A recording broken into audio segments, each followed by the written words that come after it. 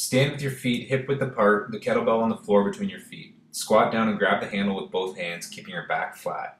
Brace your abs, squeeze your glutes, and slowly push down into your heels as you stand up, keeping your arms extended.